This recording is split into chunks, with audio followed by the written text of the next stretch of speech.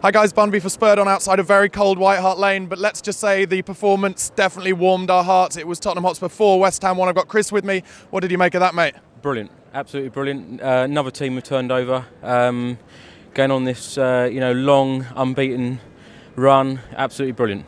Yeah, pretty pleased. I can't think of many performances uh, with such depth and just all around for 90 minutes, totally on it the whole time. I mean, I can think of the uh, the Chelsea 4-1 on New Year's Day, but even that, that was a bit more end to end. Just West Ham were never in it today. It was great because I think uh, you know they've got a great away record this season, and um, you know tactically, I think we got it so right today. I think everyone um, really wanted to win. Every Spurs player wanted to win.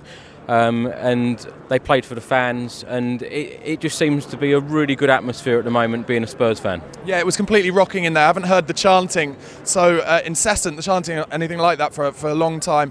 Uh, the man of the match was given by Sky to Harry Kane, but I thought Moussa Dembele was unbelievable today. Absolutely brilliant. I, I, know, like before, like in the summer, we were talking about new signings. It's, it seems like Moussa Dembele is a new signing because um, you know last few games for us, um, he's been absolutely superb, and I can't see really how um, someone else would take his place in the team. Um, I know Dele Alli is obviously not going to now be playing against Chelsea um, suspension, but it's nice because the, a lot of the players are now getting the rotation, and uh, you know people are getting their chances. And it's, not, it's, it's now about the you know some of the fringe players now taking their chances and, and really getting in the team and, and, playing well. Yeah, I think Lamela will come straight back in for him. I would have thought, yeah. or he can bring Mason in and push Musa further up. The, just having those options though is so unlike Spurs usually have. Usually, you know, you lose one of your best players and you're absolutely shitting yourself basically. But yeah, like you said, we've got amazing. So that Chelsea game, thinking about it, you know, obviously we can go in with confidence. Can we turn them over?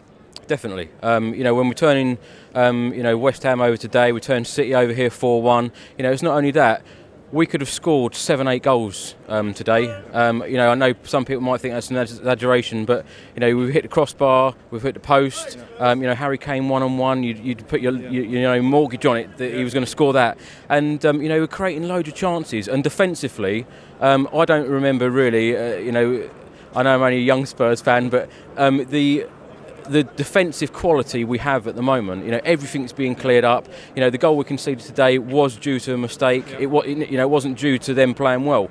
Um, so you know, it's really good. Yeah. Really, really excited. Totally agree. So, quick prediction: Chelsea next week.